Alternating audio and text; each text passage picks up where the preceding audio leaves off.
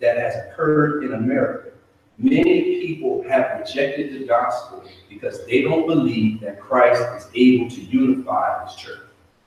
That's just what it is. They don't believe that we can be in accord with one another. We say stuff like, well, why do we have a black church? Why do we have a white church?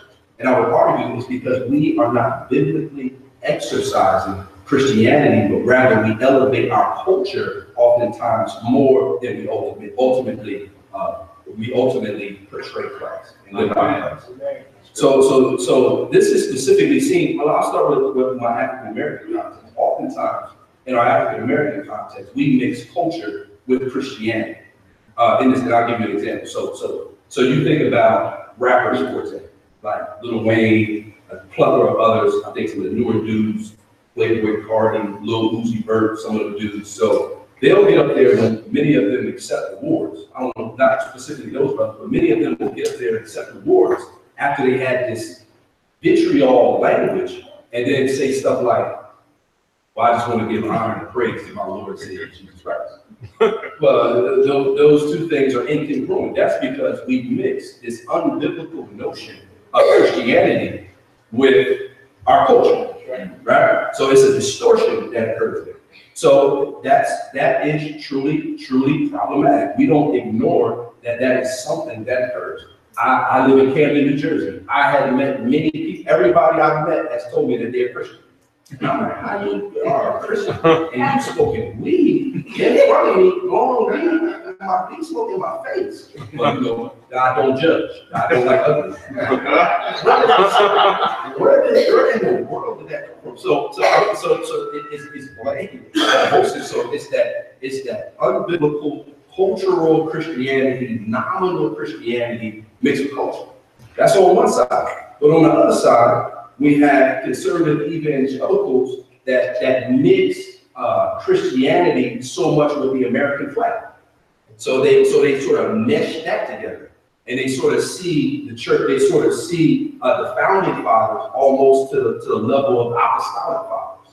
So, so that's problematic because you create this sort of civic religion because our founding fathers should be judged on the basis that though they declared freedom for all, they denied it to some. It was just simply denied to some. That's not something that we, so, so when we get up there and we're political pundits, and we say vote for this person or vote for that person, we're actually losing our prophetic prowess because we're not emphasizing kingdom values. We're emphasizing a political structure. And I'm not saying that there's anything wrong with, with having political leaning. We see among we see among Jesus's disciples. He called Herodians and he called tax collectors. We, we see that that goes on. I'm sure that there were some arguments in that. But all I'm simply saying is, is when you mix unbiblical cultural Christianity on one end, and then you mix Christianity with this civic religion end, you have a butting of heads. We need to call out sin as sin. George Washington was a sinner that needed Jesus. On Mount Vernon, he owned slaves. He beat his slaves. He mistreated them. Thomas Jefferson in Monticello, he raped Sally Hemings. We've got to be able to call a spade a spade and be honest about that and not mix our love for our country so much with Christianity. We have not see them necessarily as binary. You should love your country, but all I'm arguing is that when you politicize so much, and we that is a big impediment to a lot of people coming to know Jesus. That's all. That's all I'm arguing. So we can argue about well, I'm not for abortion. Uh, well, you know, just because you're not for abortion doesn't mean that you're really pro-life. Because once that baby is born, a lot of my brothers and sisters aren't running to the hood to sort of take care of that mother and all that type of stuff. So we have to, I'm saying, I'm arguing, I'm not beating anybody up. I'm just arguing that we have to be honest. That we are so we are so so very influenced by our culture that it becomes warped in our own mind. What's the distinction between cultural Christianity and biblical Christianity? All right. I think I'm going to that. I would expect to So let me ask you. So so the, the question is is why has whitewashed Christianity become an urban apologetic issue. Like how, what is the historical genesis of this thing occurring? Well, I've got a timeline, I've got a theory that I, that I think really works well. Uh, Christianity Today affirmed it, Soong-Chan Rah, Dave Moberg from So let me, let me just run it through for you. Albert Raboteau, who's a scholar at Princeton, uh, he, in his book Canaan Land, the African American Religious History, said this. He said that 80%, 90% of the African Americans lived in the Jim Crow South in 1890. Right? So they lived in the Jim Crow South. That's where they had the industry and a number of things. But around 1910, there became available some industrial jobs in urban areas. So specifically New York, Newark, St. Louis, Chicago, Oakland, uh, LA. So what began happening is something called the Great Migration. So why were these African Americans moving to the, the northern states and specifically moving over to urban hubs? Well, because in 1914 through 1916, there was what we call a boll weevil infestation. I'm sure some of y'all know about that. That's when this little beetle ate up all the crops. So there was no real industry during the South at this time. And during that time, that's when the movie Birth of a Nation came out that really uh, was a movie that really celebrated this new wave of the KKK uh, movement starting again. So what these African migrants were trying to do was they were they were trying to flee the domestic terrorism that was occurring in the southern states. So they began to move to the northern states. Now, these southern the southern church, the southern migrants was largely intuitive. In other words, they didn't have a lot of access to formal education. And they began to move, I'll use the Northeast for example. They started to move to the Northeast the northeast. And they noticed that the cultural landscape in the north was much different than it was in the south. We noticed additionally that uh, many of the churches that were addressing the need, specifically the, Black Baptist churches, that were the Black churches that were addressing the need of after these new uh, migrating African Americans, they were at capacity. We see the Abyssinia uh, Church in Brooklyn that in, Harlem specifically, they were struggling, they, had, they were at capacity. At the same time, when they were moving up to the northern states, there was something that occurred in evangelicalism. You can look it up in uh, the Prophetic Lament by Soong-Chan and Dave Moberg, the Great Reversal, that there was something going on between 1910 and 1930 called the Great Reversal. That's when evangelicals became less concerned with social issues and more concerned with individualism. So as these migrants began to move to the southern states, it didn't exemplify the city on a hill that they thought it once did. So then what they what many conservative white evangelicals did is they fled to the suburbs, leaving the city, leaving these leaving the ethnic minorities in the city. And you know, during that time, there was something called racial steering. There was racial covenants. Uh, there were a number of things where African Americans couldn't even, well, yeah, right, right around 1930, 1932. There was a lot, there was, there was African Americans did not have access to buy even in those areas. So, so when they were being exposed to all of these religious preferences, at the same time, whites were fleeing the city.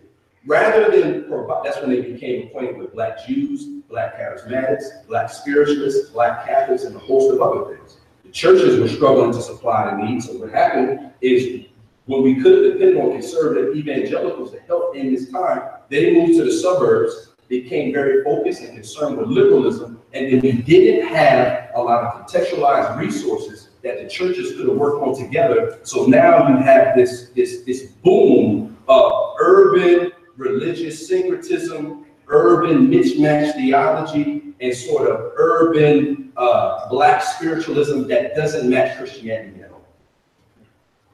I know that was a lot. But what I'm saying is, the urban catastrophe, the, the urban context that we have now, with a whole bunch of these different urban folk religions that have developed, falls on the shoulder as of us as the American church. Because rather than dealing with these issues as a church and sharing our resources, we became separated because of race, class, ethnicity, and comfort within our own culture. That's what happened. That's just the God's honest truth. There was a time in which we could address these difficult racial issues in our nation, especially the church being on the forefront of it. It did not happen. Now, I'm not suggesting here that African Americans, or many of the African Americans that, that went their way should have chosen these other faiths. I'm not saying that. I'm saying that we didn't work together to put together, to put together contextualized resources that address this ugliness that we have in our inner city. So now we have to have conferences like the One True Conference and a myriad of others to address these issues because even though it could have been dealt with earlier in the 20th century. So, so that's that's what I'm arguing. So the great reversal is occurring. There's a fleeing to the suburbs. There's less concern with social issues. And during that time, that's when the African American migrants moved up to the northern in a different state. So you have a layering that's going on. And rather than us taking advantage of this head on, we decided that we were, someone decided to move to the suburbs, not be concerned about the issues of ethnic minorities specifically in the inner city. So this is what we look at. So this is what I would call, there was an urban catastrophe that was going on, and it falls in our lap. We sinned, we erred, we should have addressed that, we did not. We just did not. So, so that's the historical backdrop. But somebody said, well, you know, I, I don't feel comfortable with those terms. Um, I think we should, you go to the next slide. I don't feel comfortable with those terms. Can you give me uh, an example? Well, let me, let me give you an example.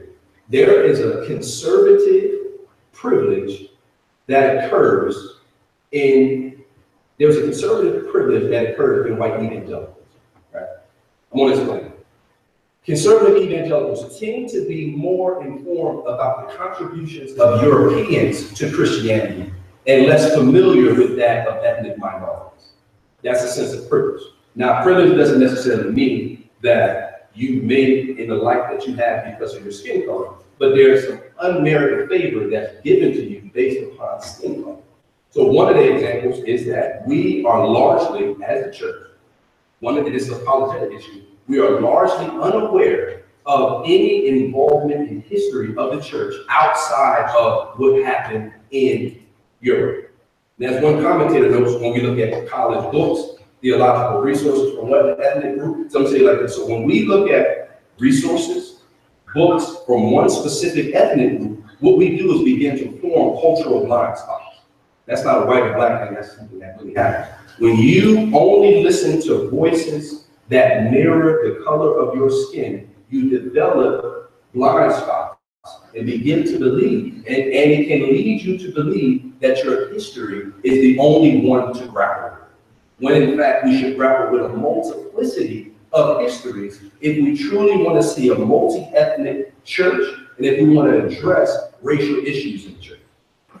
So sometimes, so in many ways, we become conservative evangelicals, sometimes we become, we become socialized into this sort of passive racism that appear, that believe that, uh, that their, that, that theology and history is, those are the only things that Europeans have contributed to and not African American or African people. All right? So you at it. So let me just give you a little bit of a survey to just let you know that we need to grapple with multiple histories. We need to grapple with a ton of them. And it's dependent upon us to do so.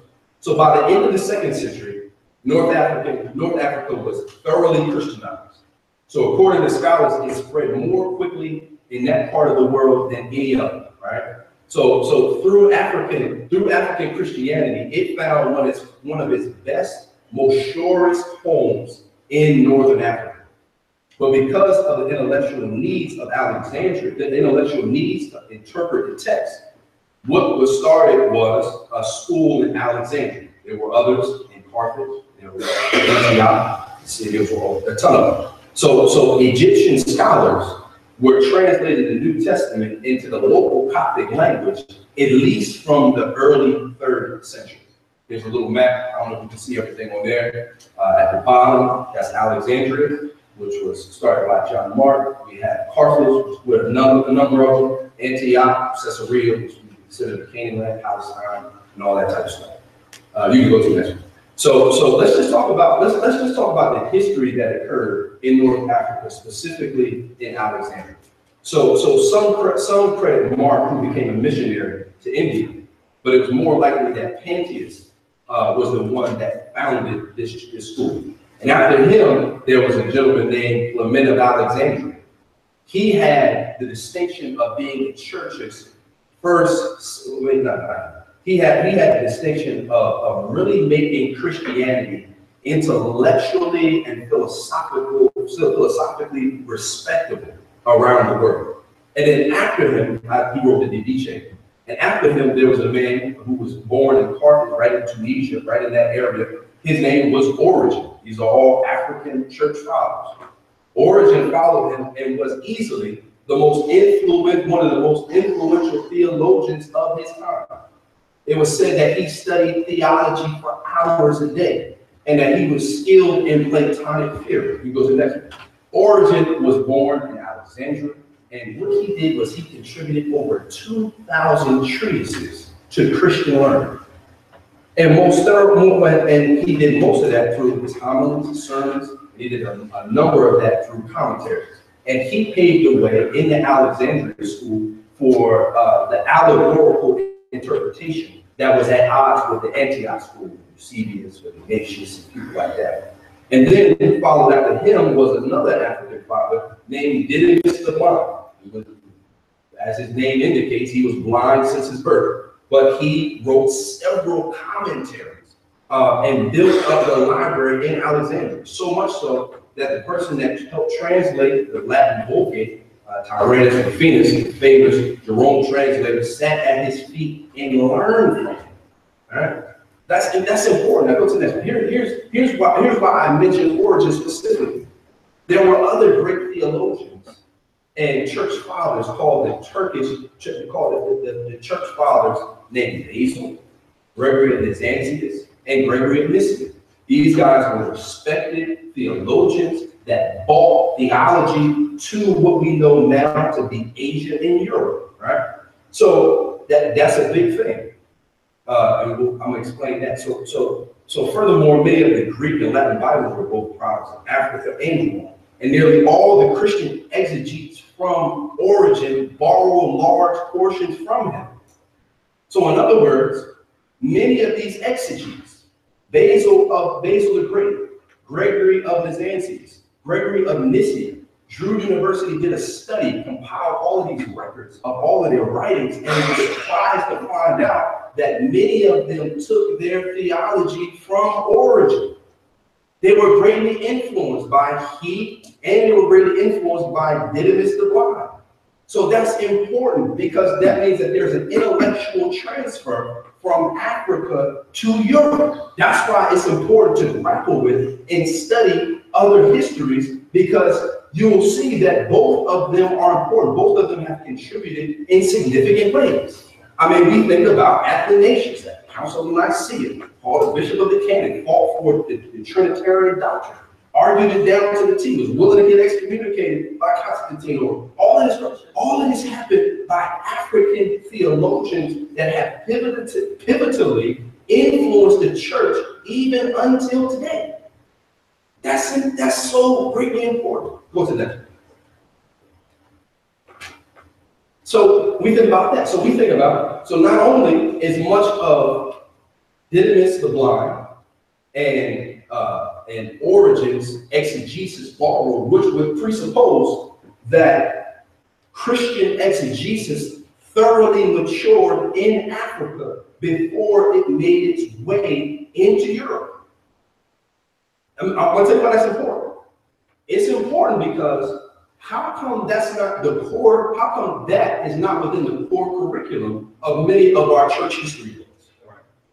How come that's not interwoven into many of the books that we read?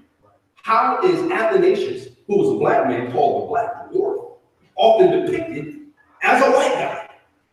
It seems the presuppose it's a, it's a certain type of privilege that it's not even interwoven into many of the stuff, many of the books of history that we say we love. So all I'm, all I'm arguing, guys, and I'm, listen, I know, uh, you know, sometimes we gotta have tough conversations. I know some of y'all are not gonna be happy about this, but I go, I go back to New Jersey before you start growing tomatoes, so don't be too, too mad with me. But, but all I'm asking, all, I'm- all I'm just simply saying is this is important. And it's important because many African Americans don't see this and are rejecting the gospel of Jesus. That's a church-wide problem. That's all of our problems. That's right. That's not like a white thing or a black thing. That's, we don't have a correct understanding of history all the time. It is against the contributions of ethnic minorities, and that leads many people that are ethnic descent to walk away from Jesus. That's a church-wide problem. That's right. So, so, so here so, so the school at Alexandria, the library specifically, it was unrivaled, right? It was a model for universities all over. The vast, there was a vast community of philosophers, scientists, writers, and artists in Alexandria. Alexandria, remember how I told you earlier, which was beautiful about having a non-river there, is there was a, there was some sustainability that, that happened because they weren't always, it, it really brought out their creativity. So they can think, they can write, they can see through theology. So what happened is Alexandria provided the archetype of, univer- of, of universities all throughout medieval Europe. So the first universities in Italy, Paris, uh, Oxford, in England, they borrowed the test and examination, the circular patterns, the philosophical approaches. These, these methods were, were refined in Africa from people like Clement and Painting. So the whole notion of this four-year degree in medieval Europe with universities was borrowed in Africa first. This is, this is critical. Can you imagine if you have this in your arsenal when you're sharing the gospel to people? When they say it's a white man's religion and we don't have anything to do with it, we don't want anything to do with it, and we lay down uh, our ethnic idolatry and say simply, well, look, here are the facts. Origen, many people borrow stuff. Alexandria, there was a great transfer of intellectual grit, of grit from Africa to Europe. That's powerful. That's powerful. So it was only mirrored to, so it was only, so the advances that were occurring in Alexandria were only rivaled by the theologians in Carthage, and what we know as the Tunisia. It was founded by Tertullian, who shaped the Christian mind probably more than any other faith. He's the one that coined Trinitas, that we put into our Christian vocabulary. You know, he was the one that coined holy living and spiritual formation. Now, eventually he would defect to the monarchists who rejected this Trinitarian formula, but it didn't appear as though it affected any of his doctrine. So, so he was the one that really infused, an him was the one that really infused a lot of the words that we use into our Christian vocabulary. You go to the next. Then we had Cyprian, who was great, who was eventually ascended to the bishop of Carthage. Uh, this was when uh, persecution was going on, uh, and many succumbed to the pressure. He simply said, you know what we're going to do? We're going to bring these backsliders that have been experiencing oppression, we're going to bring them back and restoration. And finally, one of the greatest thinkers of our time was an African man, and his name was Augustine. He, his name was Augustine. He was probably the preeminent theologian in all our country. Right? And he, he, he, you read the confessions, and it's powerful. He was a philosopher. He was a theologian. He was an ex-sex addict, if you, if you didn't know that about his story. He had a lot going on. But he wrote on, you go to the next slide? He wrote on Christian doctrine. He wrote on the Trinity, Trinity, and he wrote the City of God. And this really formulated the Western political philosophy. Now listen, it didn't continue, Christianity, it was, like I said earlier, there were a lot of schisms in North Africa. Uh, There was, uh, there was uh, the majority Christianity, the majority religion until around the tenth century. But after Rome, European barbarians before the civilization, And then once Muhammad began his conquest and sweep across the nation, not all of, not everybody that came to, I guess you would say, faith in Islam did so because they were, had to convert the sword. Some did so willingly. Uh, but nevertheless, the church was weakened during that time. So, so this is what we're saying, listen, man. Frankly, a lot of the theologians and a lot of what we see even in the Reformation, with all of these great theologians, they can thank Africa for hammering out a lot of the jargon and theology and building upon that. Right? So, so Christology and the Trinity were profoundly shaped by African theologians and people like Gregory the Great, Leo the Great, Mediterranean shores. These people benefited from such. And I'm not saying that to beat you up, I'm simply arguing with you that this is something we should put in our apologetic pockets and we should be aware of. And I know some of you, I, I know uh, some of us don't know this, but the question is, is why don't we know this? Why isn't this information readily available? Why don't you know that Origen, many, many stuff, but many of doctrines of Origen were borrowed, even by people that rejected portions. And you think about monasticism, it found a shore home in Egypt. Those are all important points. So you go there. So in any case, there was a significant transfer of intellectual strength, of creativity from Africa to Europe in academia. We saw that at universities. In exegesis, because they were from, they were born from Origen. We see that in dogmatics, commit, you communicist, y'all with that, Jesus. monasticism, philosophy, and other dialects. This is uber, uber important, and it's an apologetic issue. Let's go to the next one. Now, now here, here's the thing. This is what makes me sad. It's, it's still occurring in our schools.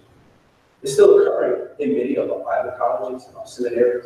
Even some of us have fallen into this sort of passive bias, right?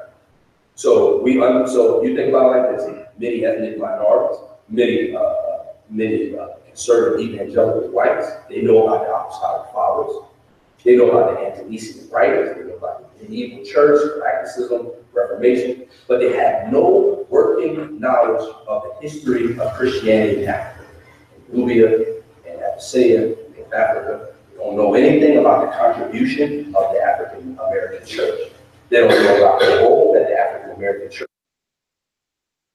played in Reconstruction, in Great Migration, in the Civil Rights Movement, or how Christians have sought to argue with black nationalists. They don't know any of this. Or have read any books by any contemporary, specifically African American authors outside of Tony Carter and the That's true. That's just true. Matter of fact, go ahead, Matter of fact, let me, I don't make a black man, but listen. What's even more unnerving is there's many people in reform circles who will not listen to sermons by black pastors unless they receive a stamp of approval by conservative evangelicals. Unless they blog for TGC. Unless they've spoken that together for the gospel. And Ligon Duncan or D.A. Carson, or uh, Piper, any of those. They won't listen to them. I think about somebody that's been preaching the gospel for years and years, like H.B. Charles. He's been preaching the gospel since he was 19 in LA. And now, because he's friends with John MacArthur, now he's catapulted into conservative evangelicalism like he's a new phenomenon. He's not. He's been preaching the Bible. You think about Charlie Dates, who have been preaching the Bible since he was at Salem and before that. And we ain't never, and we only know about him because he preached that song. and invited to the Cutting Street These people have been preaching Jesus for quite some time. And what's sad is we will not even engage oftentimes unless they got a stamp of approval some white. That's, that's just sanity. That's sanity. You think about church system. Church planting, when an ethnic minority wants to plant an inner city, take any inner city, we have to go raise money at predominantly white organizations. So that means that my livelihood is based upon how well I have learned Eurocentric history. Have I read specifically dominated by white intellectuals? Have I read theology by all of these whites? But yet, on the other hand, whites have the privilege of not engaging with my history at all. Don't know about any of my theologians. And then on top of that, we'll throw grenades into the inner city and say that they don't preach the gospel, but won't plant no churches there. That's just the reality of what's going on. So I'm saying, guys, I'm saying, in contrast, your livelihood is not you go to uh, go to yeah. Your my livelihood is dependent upon if I oh, listen, if I'm going to reach ethnic minorities in impoverished areas like Kenya, which is one of the most poor areas in the world, I have to know everything about how white theologians have influenced Christianity yet the people that I'm getting money from don't know anything about my history. That's just the truth. That's just the truth. There's a lot of us never read the black literature because it's not interwoven into the, the majority, it's not interwoven into history, into regular history. It's always an addendum. You say, well, we have black history.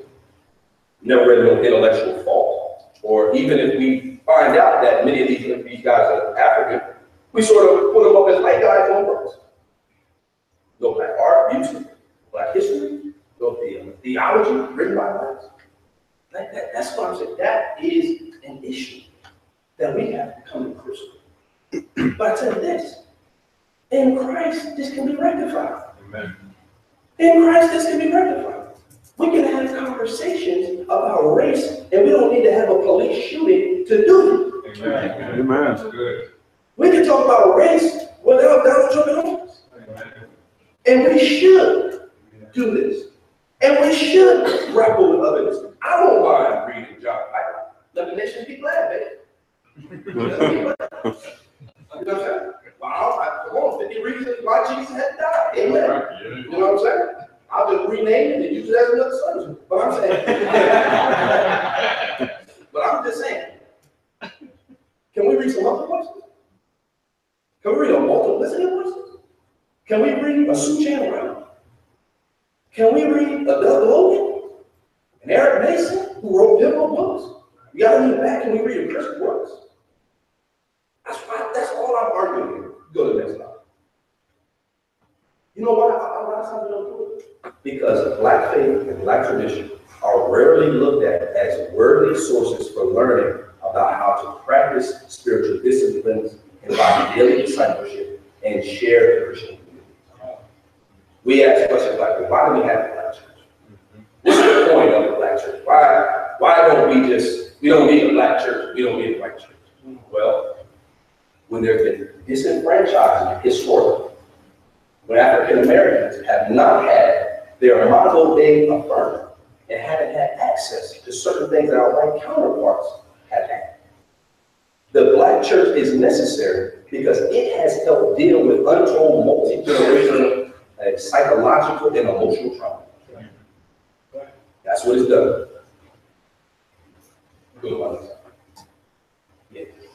So though racial tension in this country has reached a fever strip, a fever distress, even now, it would be even worse without the historic black church. Did you know that historic black churches have been planting churches since their inception? Did you know that? They've been bestowing self-worth and dignity on African Americans when it's been long denied in many contexts. She's helped brothers and sisters deal with psychological liberation and the negative and destructive social habits.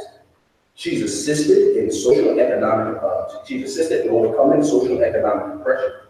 She's provided leadership development opportunities when they were largely missing in majority context culture. She's provided a family structure. She's provided opportunities for social networking and businesses within, the community.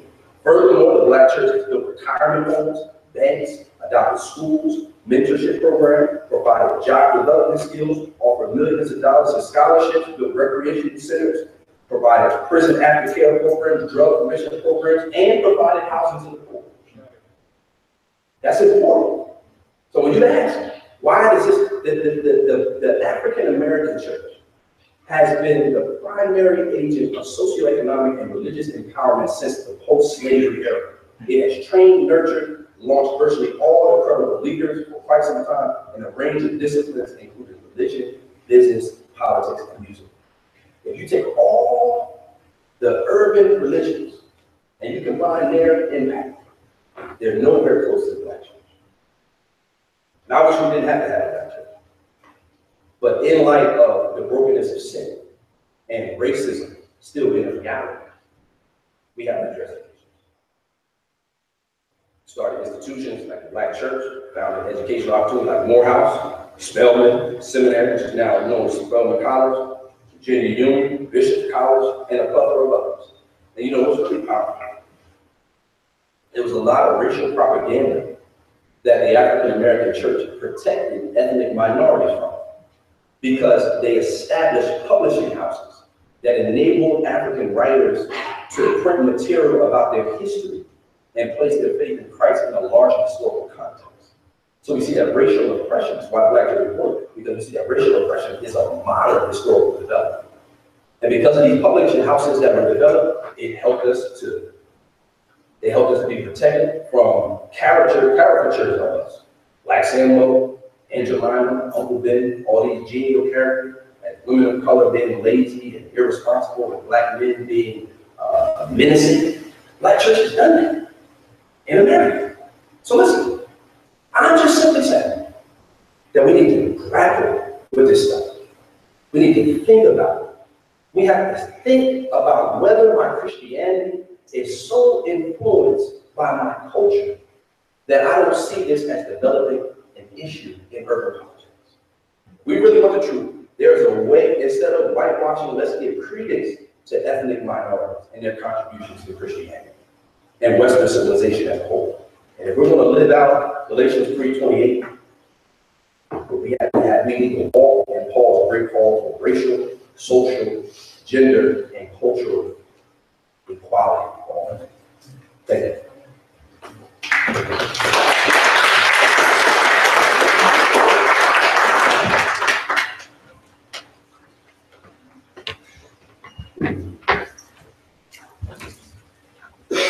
I'm pretty sure we're gonna have a whole lot of questions after that session, so if you have them written out, me get, me collect them and we can.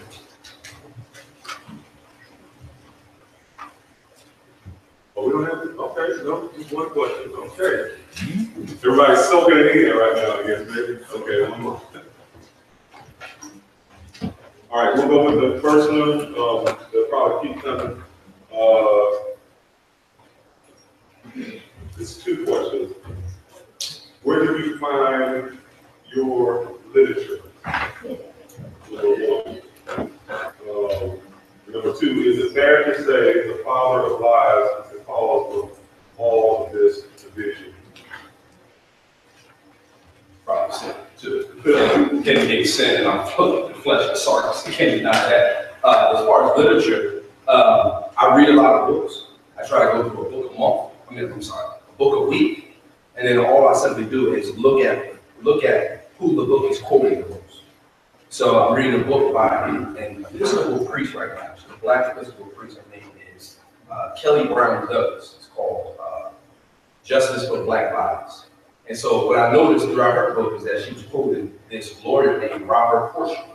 It's, it's called Race and Manifest Destiny. So I went and just bought the book Race and Manifest Destiny. I Also bought a book by Tony Evans, uh, Tony Evans, who's a, a great, great theologian, who graduated with a PhD from Dallas Seminary. Uh, he has a program named uh, Urban, the Urban Alternative. Uh, yeah, yeah, y'all know about Tony. Tony, Tony, I, it, it, it, there was some apostolic succession. Technically, Tony is my great grandfather. Because Tony, then he, he disciple Pastor E, Pastor E, disciple Pastor Doug, Pastor Doug, disciple me. So I can trace my lineage like, anyway, you don't care. Anyway, so I, I would say a lot of your literature, whatever's happening, typically whatever's happening in my context, I try to use that as a means to engage. I just bought Tim Keller's book.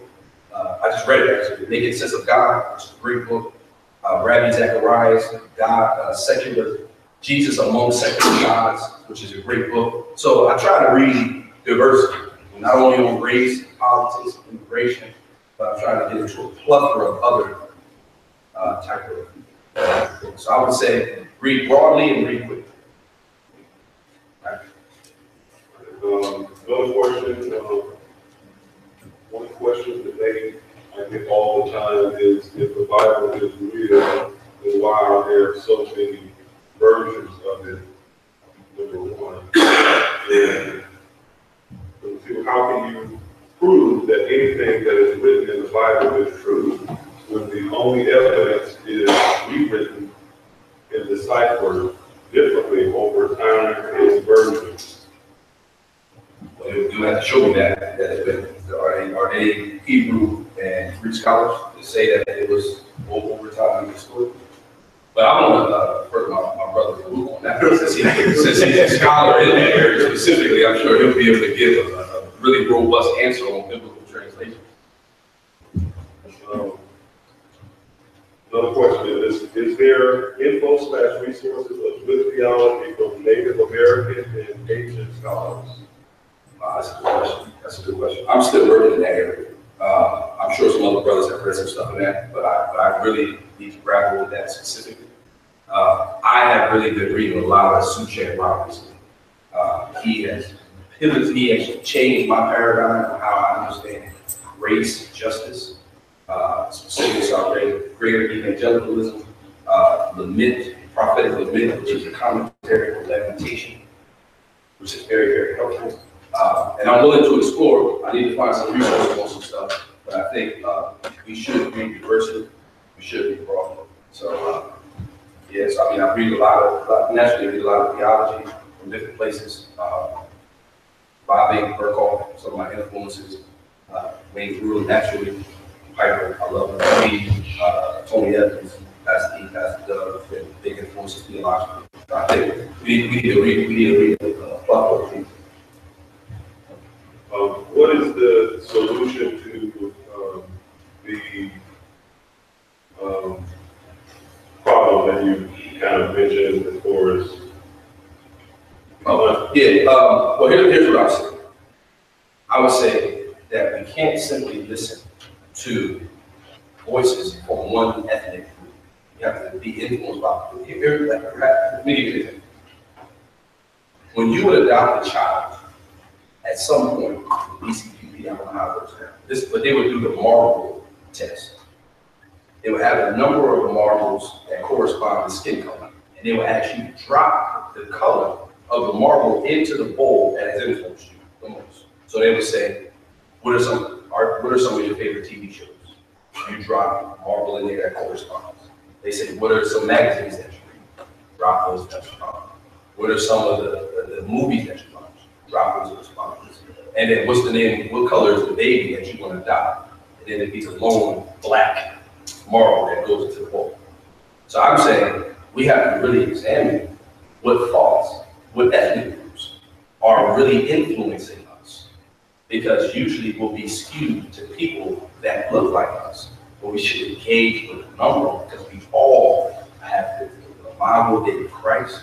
We all have contributed in different ways to theology, to ethics, but that's something we need to grapple with, not simply believe that I'm in dominant culture, therefore I want to grapple with some of this, some of the other ethnicities. Any other questions? trying to think how to phrase it, but you, you opened my mind a lot. There's definitely a whitewash. I mean, I think his, his premise or thesis was right on. I can absolutely see that. I was thinking in terms of biblical churches that don't even think in terms of race. In other words, in other words, as a Christian man, I think there's one race, the human race, and they're all in sin and they all need Christ. And and while these things influence us, we just study church history. But I didn't even think in terms of going through church history, uh, pointing out that this was black, and this was white. There was no mention of the race at all. It was excellent what you did because it, it brought out the contributions. But we weren't thinking in terms of the contributions of the white man versus the black man. Is, is race, it seems like a greater sensitivity within black churches than maybe some white churches. Is there a blindness you think that, Yeah. that we as whites have, or, or, I say blindness or just overlooking this together?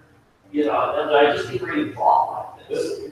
No, that's great. That's say one thing, I'll step outside bounds a little bit, and somebody will like it, they can make a course correction. But if you're black in America, you have to think about being black in America every day. Because in some way you're reminded. If you're white in America, you don't have the same self-consciousness and we're we're not forced upon you. And it's hard to understand that without being in the shoes. So it sounds too other, that's where we sit down and do what we're doing now. We open our ears and kind of say, let me hear you out and, and, and learn from this sort of experiential wisdom. And so I think that's one aspect to that. So like a more sensitive, I- or however you want to term, it, I would say yes because of that. But that doesn't mean, um, they're, that those churches are wrong and out of priority. I mean, maybe the priorities need to get aligned. And so all of a sudden we're like, you over here, let me hear you, you over here, let me hear you. Now how can we work together to fix this, to solve it, to make it different, to change it? And urban apologetics, black apologetics, whatever the terms should be, should never just be one sort of segment of church's field or concern. And if you do theological education, you get apologetics, and you're so-called minority, you by default learn sort of the standard issues. Like you, maybe even in the you've never met a Mormon in your life. You end up learning about Mormonism. There's nothing wrong with that, but you don't know them, but you don't get to hear because you're anything about the Kemetic, Nation of Islam, any of these others that are pressing on you, and then you try to press, uh, share the gospel on. So it's just a matter of saying, okay, let's find out what experiences and find out how to link up. So I would say yes to the last part of your question, but I think give us some context. Yeah, I, I think that was, that was good. I mean, this was excellent. I mean, I want, I want to take it back and show the church and say, hey, you know, maybe may be your church history, here's something you might, we didn't consider. Yeah, so I mean, this is actually, I don't want you to misunderstand. Oh, Yeah, you know, from where I was coming from, I was just thinking, and, and I think he hit the nail on the head. We just don't think that way. Right. You know, it's because I don't have to be forced to think that way. Uh, Other than the context, but it's just, it's never crossed my mind. You know, I don't have to see race, it's not a big deal. I mean, Right. black, white, yellow, green, it, it, you know, it's, it's immaterial. But this is helpful, immensely helpful in understanding how to do this and, and know where others are coming from. I think it's beneficial. No, that's, mean, there, there's not a time in which, there be, but unless we're in the majority, unless we're amongst a majority group of other minorities, that we're not cognizant of our race. You know, I mean, you- you look at the depictions on television, for example. Uh, it's mostly white movie stars. And now, that, that, there's, you got your Denzels, you got your Sidney Poitier, you got these guys, but I'm saying you see consistently that white faces are put in front of us. You see white theologians that are put in front of us on a consistent basis. So it makes it appear as though African Americans who have been in a place where they've experienced systemic racism from the time we arrived in sixteen nineteen, as though we don't measure up. And that is the problem. So I always think about. I'm when I get the car, and we can talk about police. I'm just saying, I'm very cognizant of my race and that uh, there's always been stereotypes of African American men specifically being menacing or dangerous. Uh, Some people don't like this word, but I, I think it's fair, it's implicit bias. You know, that, we have this subconscious idea about biases uh, toward African Americans. So that makes me, so I'm, so African American, very cognizant of that. And I know that that can be uh, eye-opening to many of us, but that is something that occurs especially in our churches. So that's why we're not trying to make this a white-black dichotomy type issue, but rather we're trying to illustrate that there's some real issues that occur in our communities, uh, that our brothers, our white brothers and sisters are largely aware I was, gonna- if I can say a comment, I think it's also important to recognize that because of the way uh, social history has happened in America, uh, it seems like African Americans, we think in- as a group, or we're treated as a group. So as an example, um, I was a Blossom major, and I remember being in class, and a, a, uh, there was one other black guy in class, one of the black students, we were only black people class. He said something, it was absolutely stupid. Um, and I got embarrassed. I didn't say anything. I didn't say stupid. But I got, I felt embarrassed because in some way, shape, or form, I knew, and nobody could, nobody, it's not like I was gonna have a deductive proof for this, but I knew that what he said was gonna reflect on me and the way people treated me, right? And I'll, I'll give you another example. I had, uh, with a, with a minister, dear brother in the Lord, and I, and I, I know, I've gotten to know him, and, and he, he's coming from a good place. But when he found out I was reformed, he was shocked that I, as a young black man, would be Calvinistic. Now, I told him the ironic thing is that I'm shocked when I meet anybody who's Calvinistic because that's just not it's not as though Reformed theology, big God theology is foreign in black churches. No, It's formed everywhere. But because we have MacArthur, and Endeavor, and Chandler, and Piper, it doesn't seem like it's as alien. So much so that when people think of black church, they think of emotionalism and they think prosperity gospel and liberation theology. When that same type of thing is in the white church, it just looks different. We can sing the same three chords of your good, good father. And if I hit that bass chord right, the drum is going right, everybody's hands are gonna go up. That's the exact same as a pastor, uh, shouting and from the pulpit, and he ain't said nothing yet. It's the exact same emotional reality. It just looks different because of the context. But, you know, as an African American, that's reflected on me and my theology, even though it has nothing to do with you, right? But as a white American white Christian, you know, somebody can say something off, well, nobody's gonna reflect that back to you. So that group identity, um, as African American is another thing I think is really big. And then one other. So, yeah, it's true. Neo-Calvinism, you know, spread to the Young and Restless Reform. Now, which, because a lot of Christian hip hop aren't, they're not just now white folks.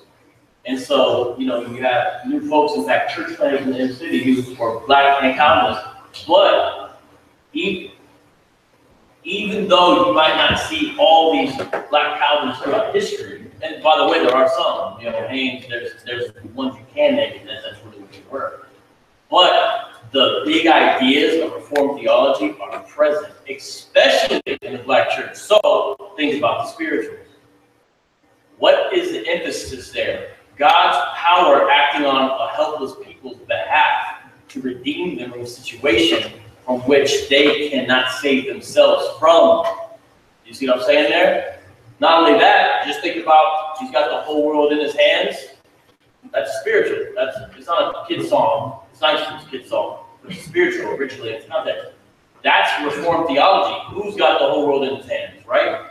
And if you look at a people group in America that have faced all kinds of stuff that had to constantly ask the question of theodicy, meaning why God, the answer is is everywhere present in theology, although maybe someone didn't know to say this is Calvinism or whatever, because they're simply drawing it from the narrative of the Bible, especially the Old Testament. So you see big God, big answers, big rescue, big need, big problem, big, del- big deliverance, all throughout the theology of the black church historically. And things really, in a lot of ways in the modern church, have just kind of got worse recently. So you ask a lot of folks, name a black pastor, they say Creflo Dollar. That's a misrepresentation of what's really happened in the past couple hundred years.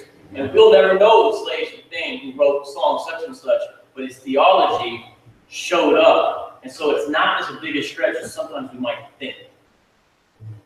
One last, um, question, I guess, I guess we're, over on time, but, um, one last question, I think, um, we talked about the, uh, my, uh, multi-ethnic congregations, that the goal is assimilation or integration. Um, I think, uh, one of the things that, uh, that we talked about, we've uh, just sharing, um, uh, difference, even when we picked up the hymnal, uh. Yeah. Yes. Well, I mean, and, again, like I said, we, we, we, that was purposeful. Uh, Because basically it was a, it was a demonstration, hopefully you guys didn't. It was a demonstration of a difference in cultures. You know, even how we pick up the hymnal, and we just, we just, you know, yeah, we just, we go at it, and so, and so I guess, like you said, how do you, how you address that, like you said, of course, going, like you mentioned, from multi-ethnicity, you know, cul- bringing cultures together, and, Yeah, I think, I think when you think about multi ethnicity, it should be a compromise on both ends, you know, uh. My, when I think about multi ethnicity, I, I think a lot of us, not, let me just say, I think a lot of pastors who worship, they, they definitely want multi ethnicity. But I think what is- really God honoring is when you, your church reflects your neighborhood, right? Whether that's multi-ethnic or not. I mean, uh, if if it reflects your neighborhood, we just can't fight or bring ethnic minorities into the churches and expect them to, uh, to assimilate sort of and leave behind some of their cultural themes and say this is multi-ethnicity. no, this ain't multi-ethnicity, it's integration. Because dominant culture still dictates, but now we bring in a certain group, we bring in certain ethnic minorities, and sort of bring them into our churches. And say, oh, we're multi-ethnic, but we know actuality, there's never, there's not been a compromise between different ethnic groups. So, so I think, you know, multi-ethnicity is cool, we love it, our church, our church in Camden, even though it's, you know, sixty-five or seventy percent African American in Camden, uh, we're about 50-50. You know, we got about fifty percent white folks, fifty percent black, maybe forty-five percent black folks, and then another five percent others, and, and we love it. We say hallelujah, we try to go after our specific demographic, and then other brothers and sisters of other ethnicities come, well, come on in here and let's worship together. You know, but I think even, so when, when dominant culture moves into ethnic churches, we should be very sensitive to, uh, the needs of people in the inner city. And we should be careful not to come in with a messianic complex that says, I'm gonna swoop in with my resources and my goods and save these. No, we work together with the indigenous leadership that's in that city, and the relationship between ethnically divergent or volatile or ethnically bad volatile relationships. So I love multi-ethnicity, multi-ethnicity, that's cool, but I, I think the Lord is really honored your church looks like your neighborhood, your city, your town. I think that is what we should. Well, As we close it out, uh, for tonight, we thank, uh, Pastor Curtis.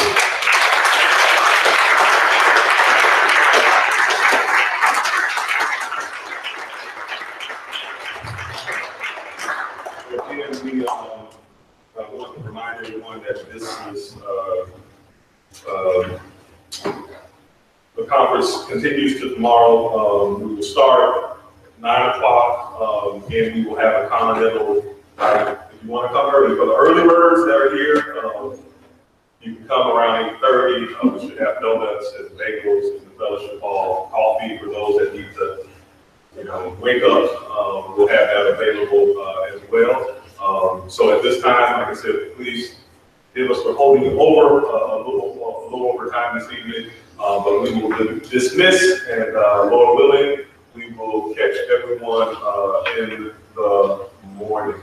Amen? Amen.